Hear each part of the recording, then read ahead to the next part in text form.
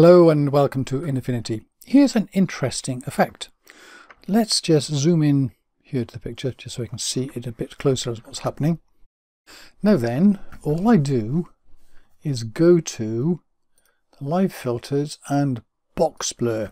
Box blur is, is sort of like the original blur. It's very simple algorithmically. Um, and it's not quite the same as um, Gaussian blur because this is the only way you can do this. All I'm going to do is turn the radius up to 0.1 and click Preserve Alpha.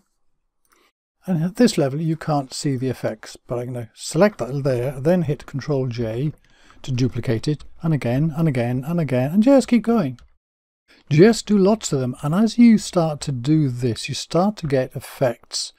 Here you go, eventually when it catches up the thing, look what it's done. It's done sort of like an impressionistic uh, effect and you know, in the sky you're getting sort of banding effects as well. You see, it's it's sort of interesting.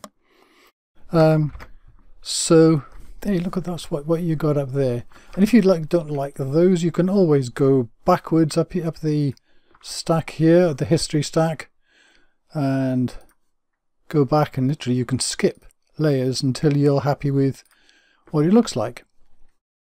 And uh, something else you can do if you want to is select the top layer go to um, layer and merge visible which will add a layer on top of all this which is based on this.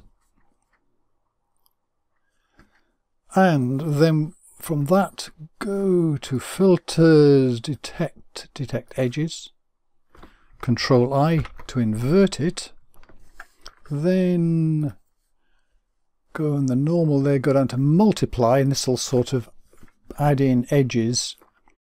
If you go in and look at it, you can see there, you, it's not so visible, but you can just do the same thing again here. Control J, lots of times, until the, the edges start to reappearing. Now that we've drawn the edges, now we've got very interesting effects everywhere. Even down here, just look at this, you zoom into it. Isn't that just fascinating effect? And you can play around with this, the number of layers you do and the, the effects you get. But overall, that's pretty interesting. Yeah, see, I can just, if I say that's a little bit much, let's take a few layers off, just hit the delete key and it can, you can play around with that. So, there you go. F uh, funny little effect, good fun.